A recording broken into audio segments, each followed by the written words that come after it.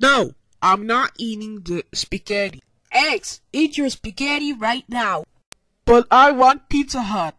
No, X, you're not having Pizza Hut from dinner. And look, Johnson is eating spaghetti. I got to school with you spaghetti.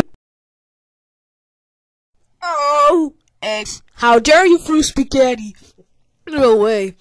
That's it. You're grounded for the day two D times. Now you get sent to bed early. Go to bed now, and that's it for you tonight. No. Alright, uh, Jonathan, before you're eating this food, X will be watching this baby shows forever. Okay? Okay, Mom.